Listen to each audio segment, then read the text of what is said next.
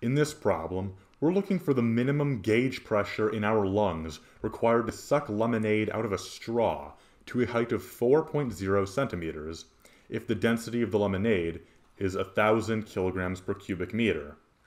Now, the gauge pressure is the difference between the absolute pressure and the atmospheric pressure. So it's equal to the change in pressure that we're applying to our lungs in order to suck up the lemonade.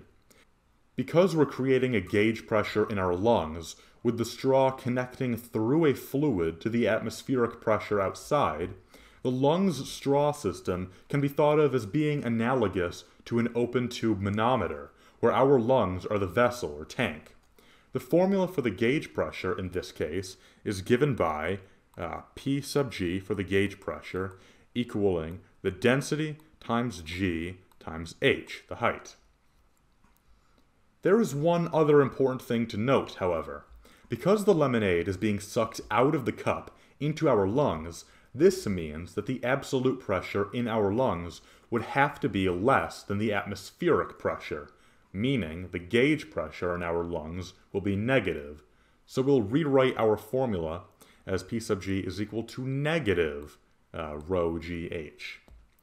Now let us simply plug in the values given to us by the problem.